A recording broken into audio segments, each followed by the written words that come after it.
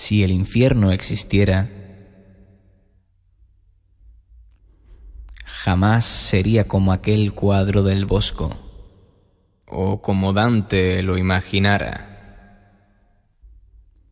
No habría serpientes, ni diablos, ni se escucharían gritos, ni canciones de Julio Iglesias o Georgie Dan.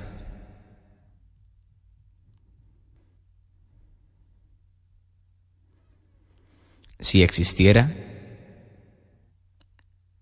que no existe,